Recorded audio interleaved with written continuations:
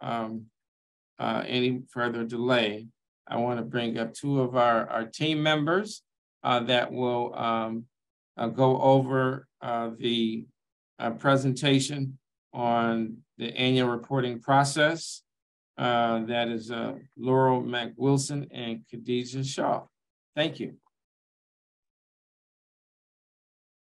Hello, everyone. Um, Kim, if you can pull up the PowerPoint, please. All right, we are ready to go. So hello, everyone. Welcome to the 2022 GWR Annual Report Data Collection presentation. My name is Laurel and my name is Khadija, the intern. Next slide, please, Kim.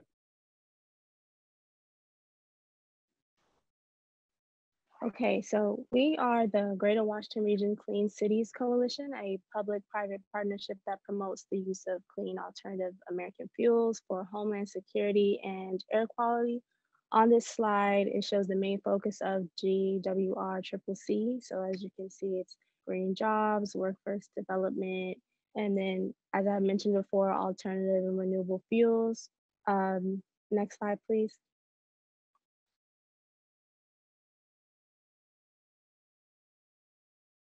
Okay, so the Clean Cities Coalition, uh, the Department of Energy started it and created it, sorry, in 1993.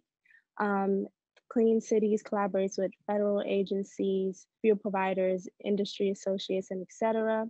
There are more than 75 active coalitions covering nearly every state.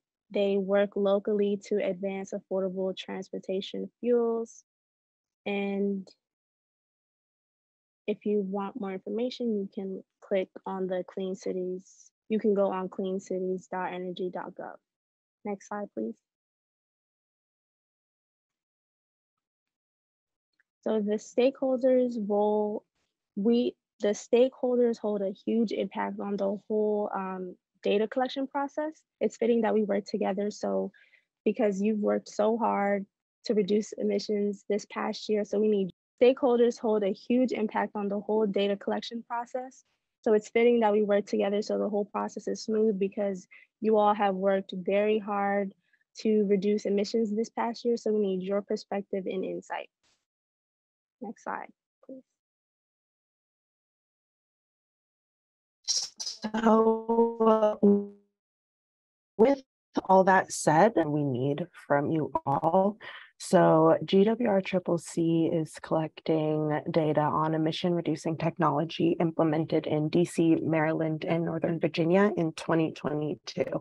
Outreach activities for clean energy and transportation, grants for clean energy and transportation, the number of alternative fuel stations slash EV charging stations, number of alternative fuel vehicles, electric vehicles, and hybrid vehicles, and where they were used and how much energy was saved, any fuel economy improvements, vehicle miles traveled reductions. There's a couple more, Kim. I think there's two more. idle reduction and truck stop electrification. On to the next slide. So here's how we would like you to submit data First and foremost, you're going to complete a data collection contact form, which we will provide the link to at the end of the presentation. This is going to be really important because that's how we're going to get the correct contact information.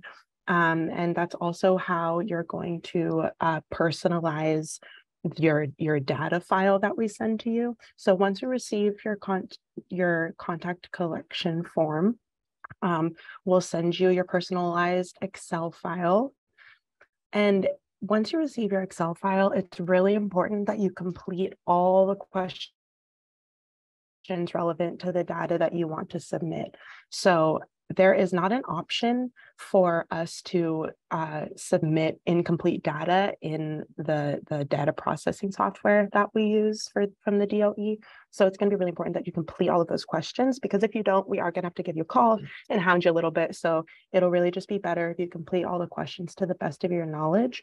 But know that some of the questions don't require specific answers. So as you're going through, if you don't completely know an answer, you can check and see um, if you don't need a super specific answer at the top of the question and uh, go from there.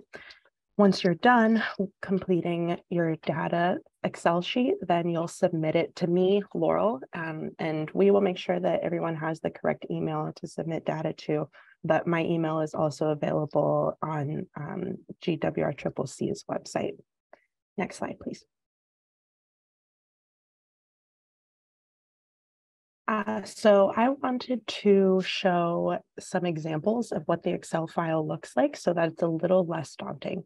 Um, you'll see down toward the bottom, there are, are Excel sheets with certain names depending on what type of data you're submitting. So everyone is going to have this start page with some general information and putting in your contact info. And then you'll also have an operating info page after that, the pages are going to change depending on the um, data collection contact form that you sent. So if you choose in the form to submit data on outreach activities and new stations, then we'll send you the specific sheets with outreach activities and new stations. Next slide.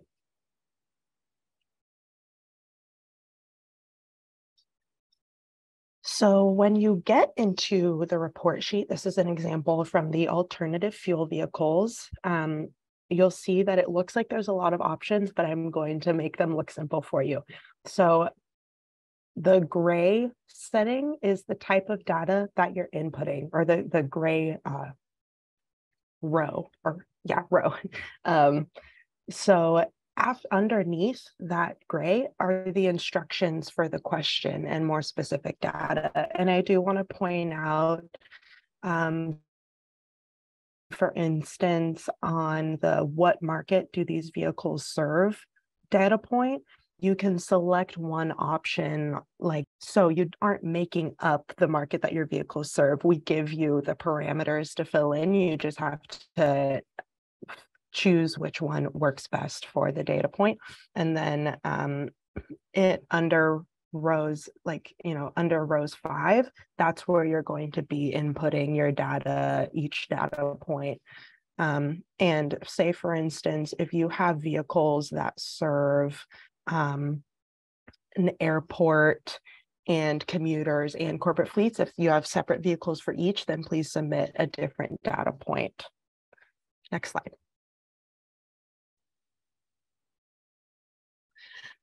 So all that to say, the data submission due date is March 14th of this year. Once you fill out your data collection contact form, we'll be in touch. This is a QR code for the form.